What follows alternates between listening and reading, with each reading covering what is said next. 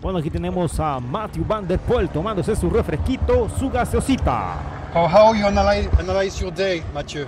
I was not so good today. Uh, I think yeah, that was obvious. I had a bit of trouble with the pace. Um, yeah, anyway, like I said, I think uh, it was a really hard finish. Maybe a bit too hard, and yeah, for sure I didn't have the, have the best legs, but I think I need uh, stages like this to uh, to get better. You are not again in good shape. Sorry? You are not again, not again What? in good shape. No, um, but I mean, yeah, we're here to build up the shape, and uh, it was good the past two days. Now today was a bit, uh, bit less, but we will see tomorrow again. But uh, Tirreno is not finished. Sorry? Tirreno is not finished for you. No, not yet, but some really hard stages uh, following, and my goals are uh, after the Tirreno. Bueno, Van Der Poel, que en la etapa de hoy, en la etapa número 4, no pudo hacer nada. En la etapa anterior lo vimos que incluso fue lanzador para Jasper Steven, Jasper Philipsen, perdón. Jasper Philipsen que ganó la etapa gracias al, al, al esfuerzo que hizo Van Der Poel por llevarlo hasta la meta. Porque aquí podemos apreciar que en esta etapa número 4, que salió desde Grecio hasta Tortoreto, Vean qué cantidad de repechos, vean al final. Qué cantidad, uno, dos, tres, cuatro repechos ahí seguidos. Ahí podemos ver que eh, Van der Poel se va quedando, se va quedando. Lógicamente no era su terreno.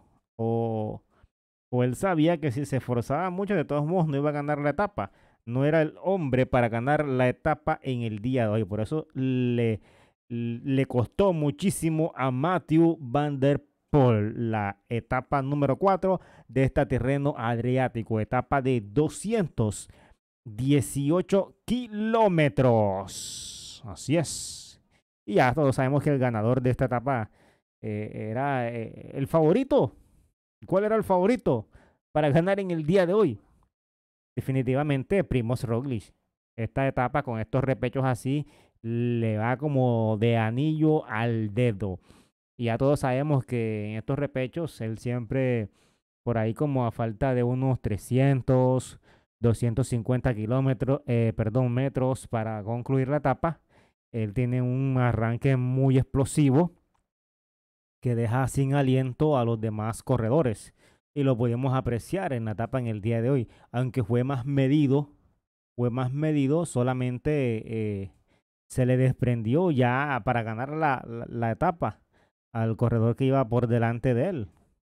Lo, lo, no le dejó opción. Ya ganó comodísimo.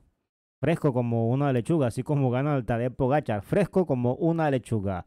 Bueno, estas fueron las impresiones, la reacción de Matthew Van Der Poel tras la etapa número 4 de este terreno Adriático 2023.